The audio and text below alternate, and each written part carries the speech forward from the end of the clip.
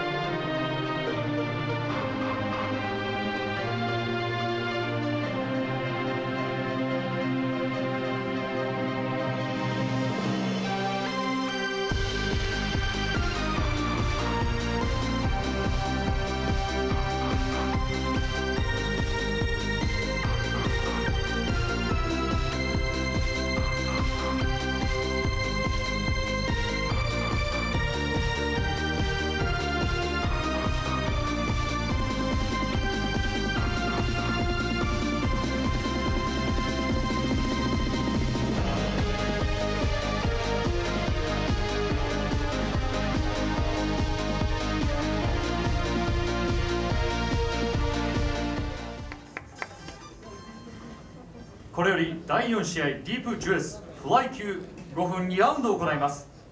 青コーナー ACC 所属。ミッコネルバーナ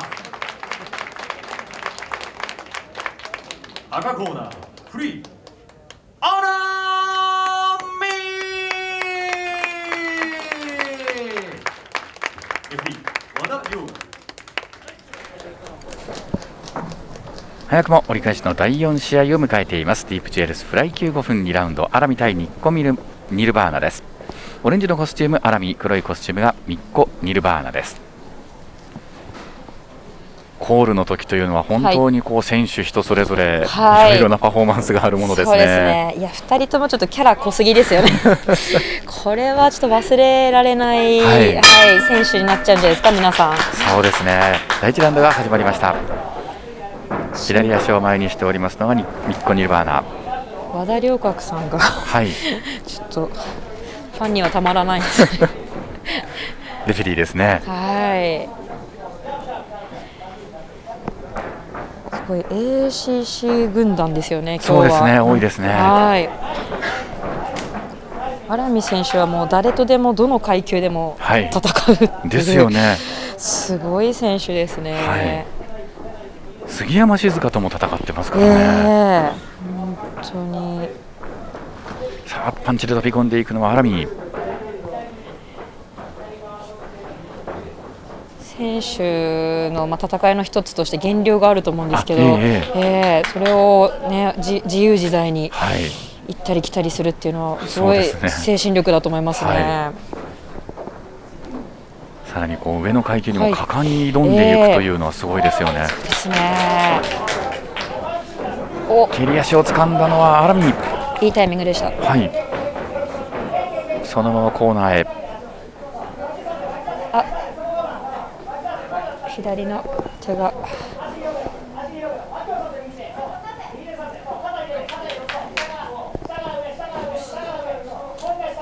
ちりとここは手を組んでいく。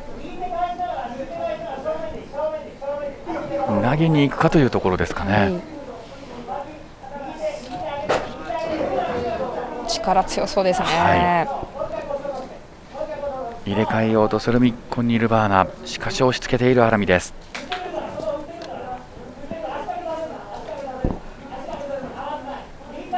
試合前のあの寝るこうポーズ、すごい印象的ですよね。ね。自分の多分ルーティンみたいなのがあって、はい、私もこう両手をこう広げるポーズを、はい、ね。はい、してたんですけどあれは韓国の試合からやり始めたやつなんですけど、えー、はい、あの時からこうずっと続けててやっぱりあこれをやった時に自分のテンションが上がるなとか、はい。あのー、勝った試合だったので。えーまあ、いいイメージを持って試合に臨めるというか、各選手にそういうのがあると思うんですけど。いかにこう試合の前に集中して、はい、いいイメージで臨めるか、はいそうですね。さあここでブレイクがかかりました。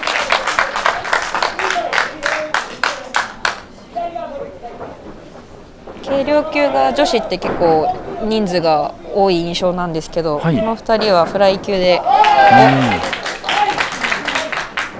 っぱりあの選手不足っていうのがあるので、ええ、結構あまた同じ選手とやるっていうのが結構選手が少ない階級だと増えちゃうので、え、こうやっていろんないい選手が出てきてくれるっていうのは嬉しいですよね。ね。さあバックに取り付いているのはアラミ。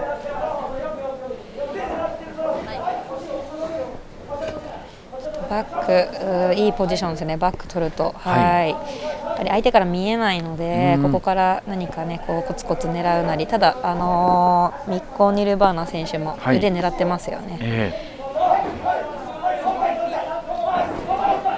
ー、投げていく、豪快。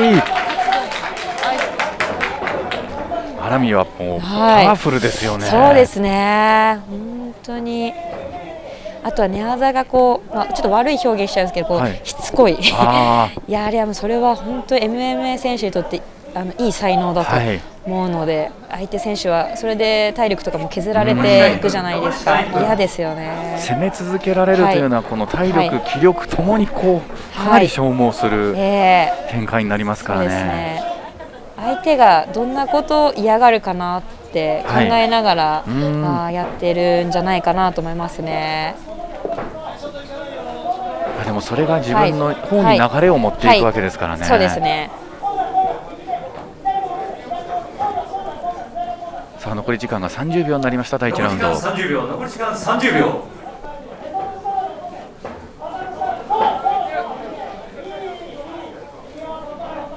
コニルバーナとしてはこう、はい、この自由にさせないようにしながら自分、まあ、対等なポジションまで戻したい、そうですねポジション戻したいと思います、はい、荒見選手はあいいところ取っているのであの、まあ、残り時間とか見ながら打撃も混ぜていくと、展開が作っていけるのかなと思うんですけど、まあ、いいところ左足か絡めてますしね。そうですね。お第1ラウンド終了緊迫する展開でしたね。の1ラウンドはどのようにご覧になりましたか、はい、そうですね、荒見選手の、えー、ねねちっこさが、はい、あの良かったなと。はい。一回この、まあ、いわゆるアラミワールドというんですかね、はい、にこう流れがいくと相手の選手がこう、立て直すのにしんどそうですよね。流れっていうのがやっぱあるので、はい、えー、そこで自分の実力でまた戻す、あの投げられた後のす素早く立った動きっていうのはすごい良かったと思いますけどね。はい、この後は、えー、最終の第2ラウンドが行われていきます。ミッコ・ニルバーナはディープジュエルスのアマチュアで活躍しましてあの藤田大和の姉の藤田翔子を2度破ったりですとか、はい、その実績があり、はい、10月大会でプロデビュー KO 勝ちを収めています。藤田翔子さんと、あのよく練習させてもらってたんですけど、はい、その藤田さんを破るってなるとちょっと。そこは確かな 実力があるという。そうだと思います。はい藤田選手のあの打撃すごいんですよね。はい、あそうですよね。練習でもあのバチンとくるような はい。あれにすごい鍛えてもらいました。はい、さあタックルに行っているのはアラミ。おお。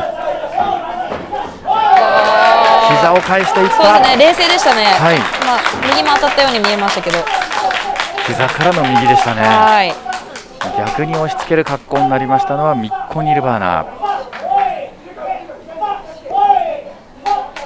ここ怪我で膝を見せる選手が今日多く見られますね、はい、そうですね膝を太もものあのローのあたりにもらうとめちゃめちゃ痛いんですよね、はいまたダメージ残りますからね。そうなんです。よく代表に、はい、ああややってもらいました。はい。やられましたをぐっと飲み込んで、はい、ややってもらいました。はい、はい、鍛えてもらいました。はい。はい、感謝の心を忘れない前澤さんですね。さあ飛び込んでいくのはアラミ。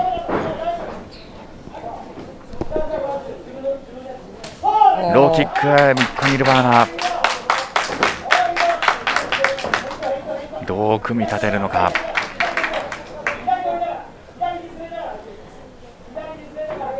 シャドウだったりちょっとこうジャブで触ったりだとか、はい、少しフェイントも混ぜながらやるとあの相手に対しても、はい、あ何が来るのかなっていうふうに見せることができるので、まあ、狙うのもとても大事なんですけど、はい、こうモーションが大きくなっちゃうとちょバレちゃったりしますよね。そうですよね、えーでも疲れてくるとその試合の時のシャドウっていうのがなかなかできないので、あでもでも下を見せながら今右を振りました、ね、すごい。おやり返す。あ見事に飛び込んでいく。すごいな。両者のこう持ち味がなかなか噛み合うような、はい、そうですね。戦いですね。はい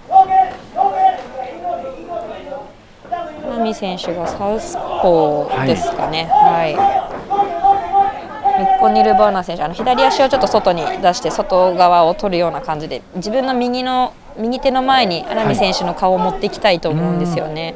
はい、なるほど。照準を合わせて、はい、えー、なのでもう少しこう左をしつこく出していってもいいのかなと。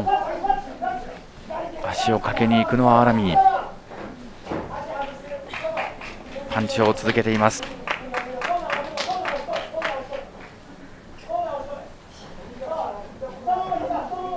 アラミの方は10月大会プロデビュー戦の伊沢製菓に判定で敗れてと。そうなんですよ、ね、いう戦いがありました。そこからのこう再起戦という形ですね、両手もうまく使ってほしいですね。ちょっと背中を向けると、ちょっと、はい、あ、でも足を取りに行こうとしたのかな。背中を見せると、ちょっといいポジションを取られちゃうので。はい例えば相手の、まあ、向き合っている状態の話だったんですけど、ええ。ー、手で相手の顎を押すだとか、ちょっとこう前からの攻撃もあってもよかったのかもしれないですね。はい、ちょっと嫌がるようにして、はい、背中を向けてしまってそうですね。後手にあの、背中を向けて逃げるっていうこう前向きな背中を見せる展開はいいと思うんですけど、消極的なというか、まあ、逃げてしょうがなく背中を向けちゃうっていうと、やっぱり相手に追っかけられるような形になっちゃうので、えー、ちょっとまずいですね。残り時間1分残りブレイクからアラミがラッシュに行く。残り時間1分を切りました。何かどっちかにインパインパクトがある何かが欲しいですね、はい、そうですね、はい、タックルに行ったのはミッコ・ニルバーナ足をかけて倒せるか荒見踏ん張る残り時間30秒。残り時間30秒。回転しながらという形で足を取る格好になりましたのは荒見多彩ですね。はい。足換に行く。嫌がるミッコ・ニルバーナ残り時間があとわずかです押し付けて膝を入れるのはミッコ終わるギリギリの優勝ってやっぱいいのでこうやって攻め続ける素晴らしいですね、はい、2人とも。両者が自分のいいところを見せようとしてここで試合は終了のゴングが鳴らされました。よかったですね。ミッコ・ニルバーナ思わず大の字。両者がもう気い。力を尽くしたそんな試合後の姿です。いいですね。男らしさをなんか 女子の試合なんですけど、ななんでなんでしょうこのおん男らしさを感じるような、もう語らずともこの姿がええ。戦いを物語ってますね、はい。入場から終わりまでもう全ファンを引きつけたんじゃないですかね。あそうです結構お伝えします。判定です。ジャッジ福田19対19マスト判定。青美子マスト判定で一人はミッコ・ニジルバーナャッジ終えます20対18青美子二人目の美子ジャッジ20対18青美子よってこの試合3対0をもち勝者青コーナー美子判定3対0でミッコ・ニルバーナよかったね泣いてます。喜びを爆発させる表情でいやーこの判定結果そしてこの戦いどのように評価しますか？そうですね、あのーあんなにネチネチされると心がねちょっと折れちゃいそうになると思うんですけどそれでも最後ああやってタックルに行ったり自分にも勝った、はい、勝利だと思いますね。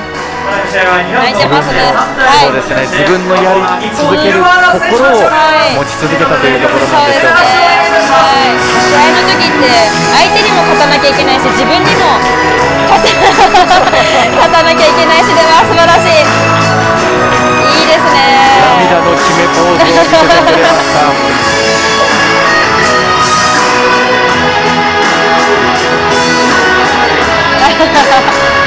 写真にのリクエストにしっかりと答えはいてくれています。素晴らしいですね。アラミも敗れはしましたけれども、見せ場はさが出てますよね。ああすごい。オーバーハンドの右が当たりましたやられたらやり返してましたもんね、ね、すごいですね。人を制しましたのは見事。